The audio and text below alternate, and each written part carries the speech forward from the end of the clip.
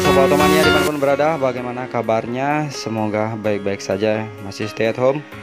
Saya ingin mengabarkan bahwa ada lawan baru dari SWM kepada Yamaha NMAX sebagaimana kita ketahui Yamaha NMAX sangat fenomenal ya. Dan ini jadi tulang punggung dari Yamaha. Skuter yang menggunakan mesin 155cc ini sudah VVA sudah 4 klep dan Yamaha NMAX ini mendapatkan lawan dari SWM DRGBT namanya. Yang bentuknya dan juga fiturnya tidak kalah canggih. Ya bentuknya seperti ini. Ini panel instrumennya sudah digital juga. Lampu LED depan belakang. Remnya juga ABS dual channel. Bodinya tajam-tajam kakinya juga kekar.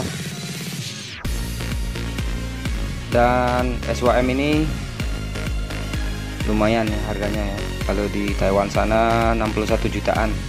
Mungkin kalau dilokalkan atau dibuat di sini mungkin akan bisa.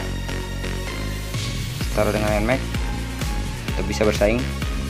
Tapi dari segi mesin motor ini menggunakan mesin 158 cc dengan daya 14,6 daya kuda serta torsi 15,4 Nm sedangkan NMAX memiliki power 15,1 dk dan torsi 13,9 Nm terlihat tenaga masih unggul NMAX ya 14,6 dan 15,1 namun NMAX kalah di torsi ya.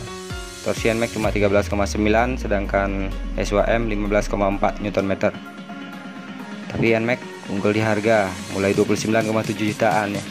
Dan ABS 33,7 jutaan. Silahkan sobat berikan komentarnya. Mungkin dari segi body. Yang mana bagusan atau fitur. Terima kasih atas waktunya. Salam satu aspal